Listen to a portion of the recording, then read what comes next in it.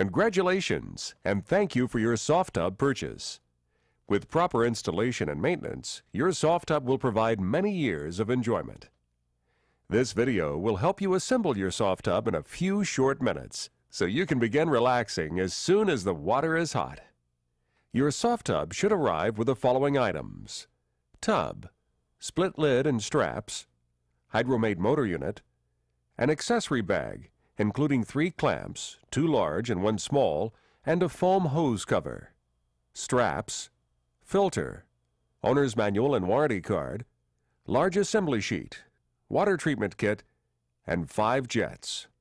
Your Softub is completely self-contained and portable. It can be set up on a patio, deck, or even indoors. In choosing your site, consider the following points.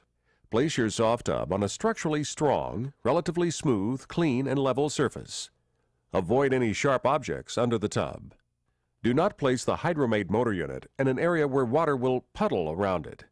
There will be casual moisture around the tub, so ensure adequate ventilation to prevent moisture damage to surroundings. Allow easy access to the ground fault circuit interrupter, which is located on the power cord. The 120 volt GFCI and the outlet it is plugged into should be protected from extreme weather, landscape sprinklers, and accidental spills. The outlet must be located at least 5 feet from the tub.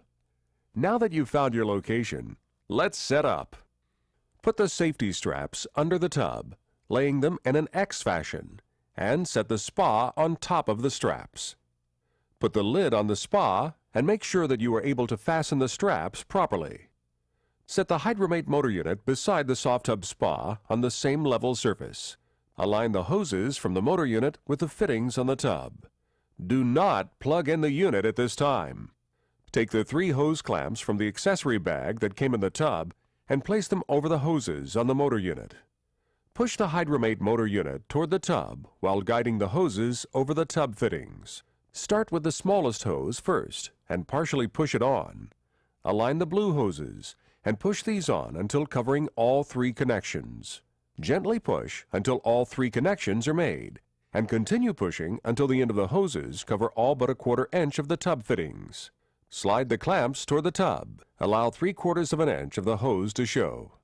Tighten the clamps. Do not over-tighten, just make them snug. You can always tighten more if the hose begins to leak while filling.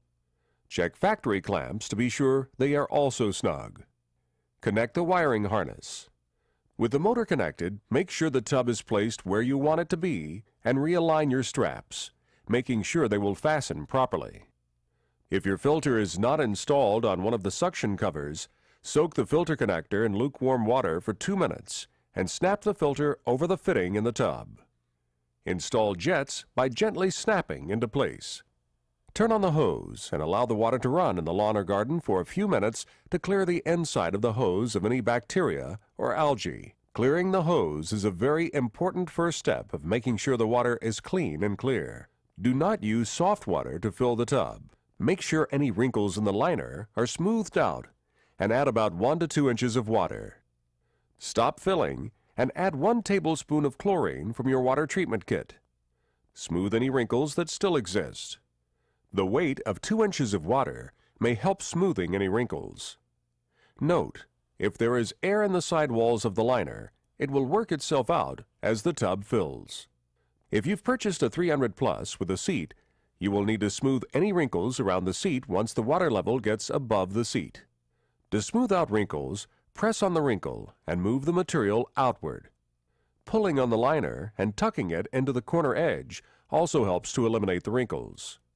When all wrinkles are removed, continue to fill until the water level is about 2 inches above the highest jet. As you fill the tub, check your three hose clamp connectors for leaks. If you see a leak, don't panic. Turn off the water and tighten the clamps until they stop leaking. Once filled to a level 2 inches above the highest jet, plug the unit into a grounded 3-hole 120 volt outlet with isolated power supply of 15 amps. The light